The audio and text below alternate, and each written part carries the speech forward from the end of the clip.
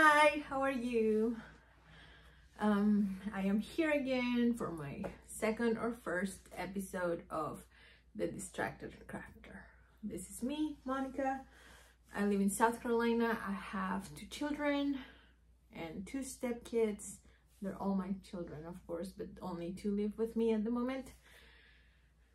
And I have a dog whose name is Max. I have a gecko. His name is Dragalorian. He's pretty bad. No, he's pretty good. The dog is pretty bad. And I was trying to get a bunny and my husband said, first he said he didn't care. And then he said no. And my friends were like, you know, you have a blue heeler, That's to be hard. And I'm like, yeah, you're right. So I had to say no to the bunny. And at the same time, I saw this post by the Petite Knitter. I don't know if you guys follow her on Instagram, but she posted these beautiful socks with bunny patterns on it. And I was like, that's my sign. I need to get a bunny. But I guess I don't. So I took the adult decision to not adopt a bunny, even though I really wanted to. Um, so how are you guys today? This was a good day so far, um, except my kid got sick, so I had to take off work to pick him up and come home. He's doing just fine right now, watching cartoons and doing that and eating cookies. I don't know if I should be giving him cookies since he has some kind of stomach bug, but that's all he wants to eat. So that's what he's doing downstairs. And I am here just showing off my what is this? The Cinnabar by Andrea Mowry. I used Spin Cycle and Loft. This colorway is called um, something about steel. I will have the colors on the show notes, but yeah, this was very fun to knit. I started it probably three years ago and I just finished it. I started it right after the pattern came out and me and my friends went on a um, knitting trip, just a little um, retreat for the three of us. We stayed in a yurt. It was really fun. I have not yet blocked it because I'm scared. I know that sounds silly, but I don't have this long um, cables, not cables, the wires. And I don't want it to go like that. So I'm just waiting either to order the wires or I really don't know what I'm waiting for. And I think it looks good just as it is but I do know I have to block it but I'm just enjoying it for now and yeah that's what I'm working on uh, as for my um, dyed yarn I have been working on some new colors and old colors so a lady contacted me on Instagram because she wanted to knit this sweater in these colors that I hadn't dyed in quite a while and I was like, you know what, those colors would be really good for some sock sets. And while I was dyeing, I mixed some other colors in and then I got a little festive with, with Christmas. So I decided to dye some Christmas colorways for people to be able to choose some sock sets in Christmas colors. Um, the colors that this lady chose are um, this purple. This purple is called Jasmine and I will have it in sock twist and I will have it in normal sock and she also ordered my big tub of yarn she also ordered this one it's called blueberry smoke it's got like some purple skin, um, specks and blue and pink. And she ordered a blue one that's one of my favorites. My favorite colors. It's called Jocassee and she ordered a gray one but I didn't dye much of that one.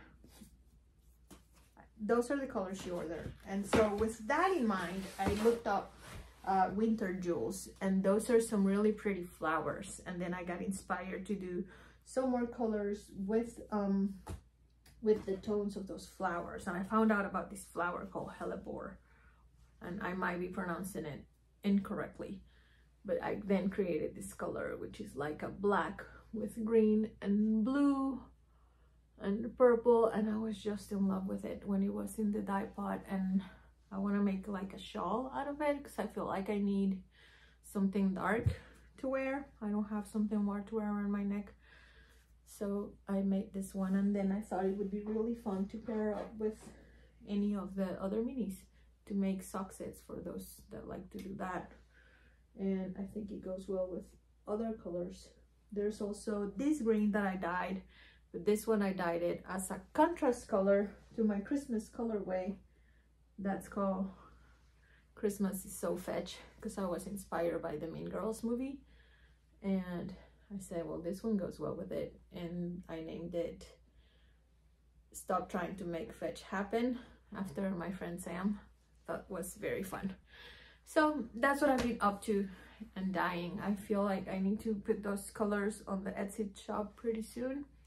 And I will do that um december 1st and maybe by the time this is out those colors are already out in the in the shop. Um i wanted to show you a work in progress that i've been knitting on and it's so soothing because of the base that i'm using. And that project is the um and lace by one of my all-time favorites and it's Joji Locatelli.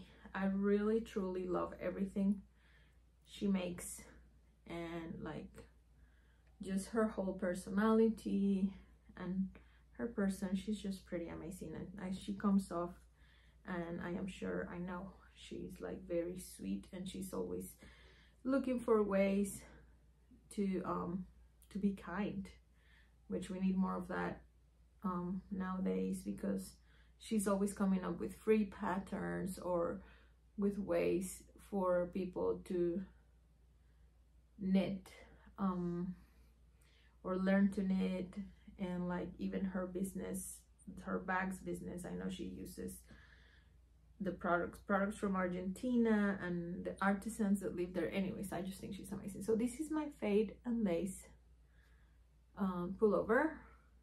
And it uses five different colors because you will have five stockinette um, lines or stripes and then you will have five lace um, sections. And she knitted hers with a lace mohair. But I don't love mohair. I really love Suri alpaca which is this one and it also has a nice halo but it's way much more soft to the touch. And it's not scratchy at all and it doesn't give me any kind of allergy which is great. So that's what I'm working on and I am just loving this. Um, this is just stockinette and then you get to do um, some lace and then you change to another color and you do some another version of uh, lace with the either mohair or suri alpaca, whatever you choose to work with.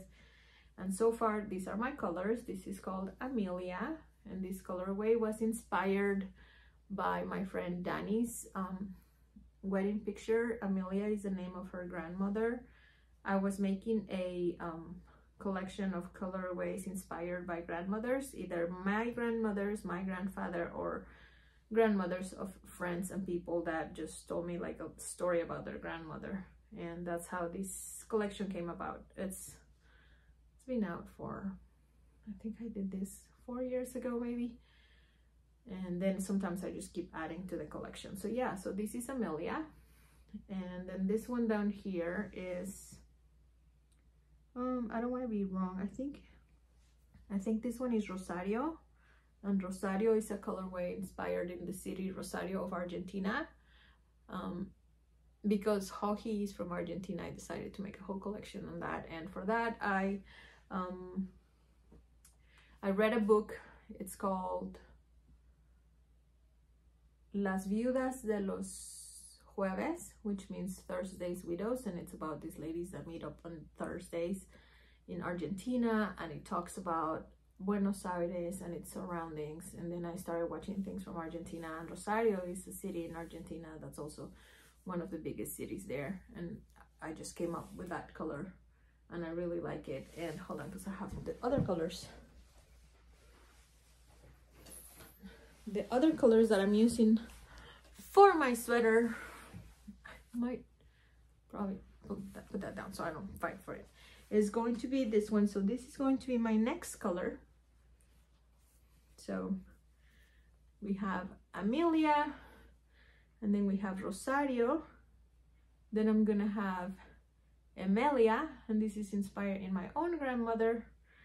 And then we're going to have this one, which is Mama Hen. It's gonna go like that. And then it's gonna fade into this one, which is Merienda, which again, it's another color from that Argentina collection. And it's gonna go like that. So that's gonna be the bottom of my sweater. And I'm just really excited to get that out. Uh, of course, it's gonna take me forever because that's how I knit and I'm okay with it. And I, I like to start projects all the time and I don't care if I knit them in three years. It used to bother me, but it really doesn't bother me anymore. I understand that I like the process of knitting. Uh-oh. Oh no. Oh no. As I am showing you this sweater, I just pulled the needle and I'm losing all my stitches. But that's okay. I can put them back on in the needle.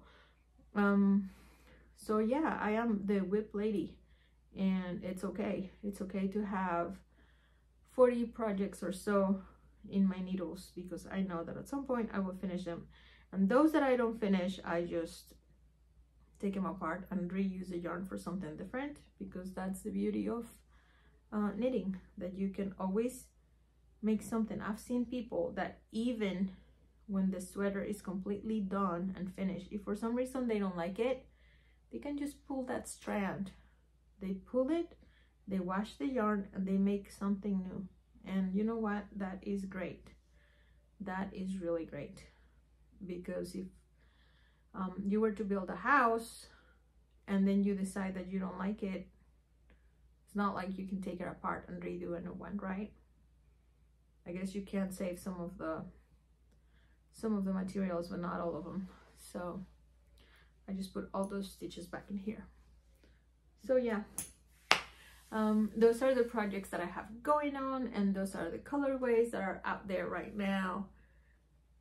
And um, I wanted to talk to you about that and about my process and how much I enjoy it.